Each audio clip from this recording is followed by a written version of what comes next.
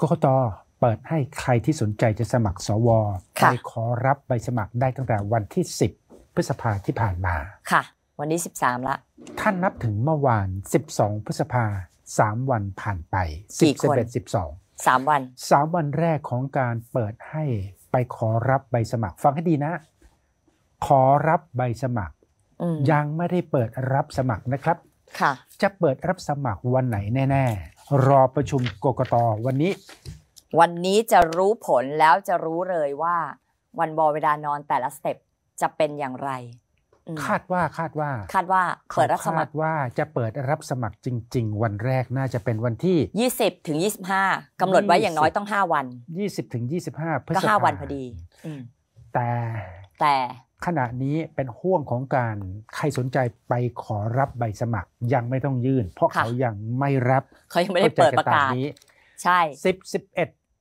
สิบสองสามวันแรกปรากี่กคฏนว่า มีคนไปขอรับใบสมัครรวมทั้งสิ้น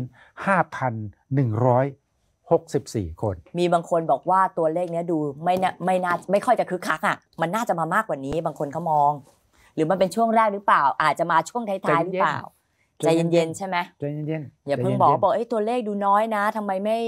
ไม่เยอะเหมือนที่คาดการณ์กันไว้ที่อุตสาห์พยายามพูดที่จะเชิญว่าชวน จะสมัครกันเป็นแสนค่ะ โอเค ทีนี้ทีนี้ไปดู5อันดับแรกค่ะจังหวัดที่มีผู้ไปขอรับใบสมัครสูงสุดก็แล้วกันค่ะอันดับหนึ่งกรุงเทพมหานครอืม849 คนค่ะอันดับสองกลับเป็นพัทลุงอืม 237 คนทำไมที่นั่นมันคึกคักอะอืมอันดับ 3 นครศรีธรรมราช ค่ะ โคราช200นครศรีธรรมอะรานชครศรีธรรมราชอืม227คน ค่ะ อันดับ4นนทบุรีอืม224คน ค่ะ อันดับ5เชียงใหม่200กับ9คน แต่แปลกนะ อันดับ6นาราธิวาส171คนอืมน่าน้ตั้องยข้อสุสัด งล่ะเกตนะมีน้อยสุดไหมน่าตั้งข้อสังเกตนะน่าตั้งข้อสังเกตว่า น้อยสุดน้อยสุดบึงสามกาฬวันแรก มีคนไปขอรับใบสมัครสวแค่คนเดียว บึงคือการบึงการแหมอันดับรองลงมาหนองคายก็สามคน แม่ห้องสอนก็หกคน กระบี่ก็แปดคน พังงาเยอะขึ้นมาหน่อยสิบคน โอเค รับทราบกันตามนี้ค่ะ รับทราบกันตามนี้เอาละครับก็ว่ากันไป จะคึกคักไหมเนี่ยเลือกสวบ้านเราเนี่ยเขาพยายามบิวให้มันคึกคักนะ ผมอยากให้มันคึกคัก ผมอยากให้คนตื่นตัวค่ะผมอยากให้ประชาชนเอ่อพลเมืองอิสระทั้งหลายแห่กันไปยื่นใบสมัครเยอะ แล้วดูทรงเป็นไงพี่นายดูจะไม่ได้ค่อยคึไม่กได้คักนะนั่นก็เรื่องหนึ่งอืมมันก็แค่มันก็แค่สามวันแรกของการเปิดให้ไปขอรับใบสมัครใจเย็นค่ะๆ ใจเย็นแต่บางคนบอกว่าความตื่นตัวของพี่น้องประชาชนกับการเลือกตั้งสวรอบเนี้ยตอนเนี้ยมันเหมือนยังบิวไม่ค่อยขึ้นหรือเปล่า หรือว่าต้องรอดูใกล้ๆอืม อืมๆผมเชื่อว่าคนค่ะตื่นตัว คนตื่นตัวนะคนตื่นตัวกับการไปยื่นสมัครมันคนละประเด็นค่ะ ตื่นตัวแต่การที่จะเดินไปสมัครเป็นสว มันไม่ใช่เรื่องตัดสินใจได้ง่าย ๆ นะ ใช่ มันมีคุณสมบัติมีเรื่องอายุมีอะไรหลากหลายประเด็นหลายปัจจัยด้วย เงินค่าสมัคร 2,500 บาทไม่ใช่ประเด็นค่ะ อายุไม่ต้องต้องไม่ต่ำกว่าเท่าไหร่ ก็ไม่40ใช่ประเด็นอ่าแล้วประเด็นอยู่วุตรงฒิไหนการศึกษาก็ไม่ใช่ประเด็น คุณต้องเข้าใจพลเมืองอิสระจำนวนไม่น้อยทีเดียวตื่นตัวอืมแต่ต้องคิดกันหลายชั้น ถ้าจะเข้าสู่แวดวงการเมืองค่ะ เต็มรูปแบบ เต็มรูปแบบ จากภาคประชาชนกระโดดกระโจนเข้าสู่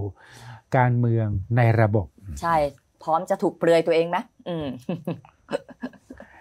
พร้อมจะถูกเปลือยตัวเองไหมเออพร้อมไหมแต่อืมที่น่ากลัวไปกว่านั้นก็คือความเสี่ยงภัยทางอ่ากฎหมายค่ะ มันมีความเสี่ยงภัยทางกฎหมายสูงมากเลย เช่นเช่นเช่นเช่นคุณต้องยืนบัญชียื่นบัญชีทรัพย์สินหนี้สินใช่ไหมนี่ไงอะนี่แหละ ต้องเปลือยตัวเองนี่ไงคุณต้องยื่นบัญชีทรัพย์สินหนี้สินใช่ไหมใช่แล้วจำเป็นมากค่ะเขาพร้อว่ามกัไหมนว่าหลายคนก็ไม่พร้อมเขาว่ากันว่าตามกฎหมายปปชฉบับใหม่เอ่อ ผู้ดำรงตำแหน่งทางการเมือง ในการยื่นบัญชีทรัพย์สินหนี้สินนั้น ไม่ใช่เฉพาะตัวเอง บุตรที่ยังไม่บรรลุนิติภาวะ อันนี้ชัดเจนต้องยื่น และรวมถึงเมียตามกฎหมาย และประทานโทษ และกฎหมายใหม่ปปชระบุว่า เมียนอกสมรส แต่เป็แต่นที่รัรับบรู้รู้กันในสังคม ก็ต้องยืดก็ต้องจงมือมายื่นบัญชีทรัพย์สินหนี้สินด้วย ใช่แล้วก็มีตัวอย่างให้เห็นละน้ำตีบางคนเขาก็ยื่นทุกอะเมียโอเลเคยโอเคอืมเอาเอาเอาเอาประมาณโอ้มันมีรายละเอียดเยอะค่ะ มากไปกว่านั้นอีกอืมมากไปกว่านั้นอีกเผลอไปทำผิดกฎการแนะนำตัวโหอันเนี้ยผลอๆติดคุกเอาได้ง่ายๆอันเนี้ยเสี่ยงภัยสูงหลาย ๆ คนบอกว่ามันแบบมันหมิ่นเหม่บางทีมันโดยไม่ได้ตั้งใจหรือแบบไม่ได้ระวังมากพออะไม่เป็นไรนะค่ะโอเคก็ก็ก็ก็จุดทูบแล้วกัน จุดทูบกาอีรกแล้วเลือกสวครั้งนี้ซึ่งน่าจะ น่าจะถึงฝั่งฝันอีก 2 เดือนข้างหน้า ค่ะสองเดือนกลเท่ามนั้นๆนะสองเดือนข้างหน้า จะเป็นจุดเปลี่ยนประเทศ เมื่อสวเปลี่ยนประเทศก็น่าจะมีโอกาสเปลี่ยนบ้างนะนั่นแปลว่าสวต้องเปลี่ยนใช่ไหมสวถ้าสวไม่แปลเปลี่ยงนร่างเออสวแปลงร่างจากสภาผัวสภาเมียเออถ้าแปลเกิดงร่างจากสภาเผด็จการแต่งตั้งโดยคณะรัฐประหารค่ะ แปลงกายมาเป็นเอ่อเอ่อสภาภายใต้การเลือกกันเองระหว่าง แต่ละกลุ่มวิชาชีพยี่สิบกติกาที่เขาดีไซน์เขาดีไซน์กันเอาไว้เออก็ไม่รู้สิมันอาจจะดีขึ้นก็ได้มั้งหวังว่าไงก็จุดทูบอย่างที่พี่ดนัยบอกหวังว่าและจะดีสมมุขึ้นติว่าเอ่อสวภายใต้กติกาใหม่ที่เราจะได้เห็นกันอีกสองสาเดือนข้างหน้าค่ะอืมมันเปลี่ยนจริง ๆ ก็คาดหวังว่าการเมืองน่าจะเปลี่ยนบ้าง ประเทศค่ะก็น่าจะเปลี่ยนบ้างก็เป็นความหวังอ่าคิดบวกโลกสวยไว้สักนิดหนึ่งนะคะ ชีวิตจะได้มีความหวัง